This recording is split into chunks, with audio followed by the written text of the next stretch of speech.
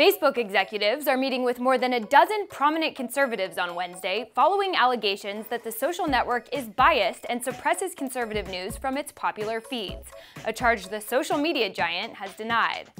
Here are five things to know about Facebook and politics.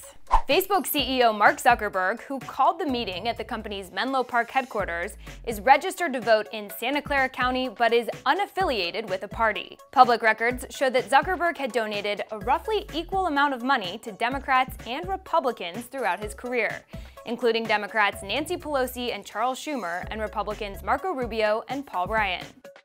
According to FEC filings, Zuckerberg also gave $10,000 to a San Francisco Democratic committee last fall. In 2011, Facebook created its own political action committee, the Facebook Inc. PAC. In a post, the company said its purpose is to allow employees to legally support federal candidates who share the goal of making the world a more open and connected place. According to the Center for Responsive Politics, the PAC has given more to Republicans than Democrats in the past three election cycles. The number one brand on Facebook in terms of engagement last year was Fox News Channel with 228 million interactions. Compare that with just 26.5 million for MSNBC.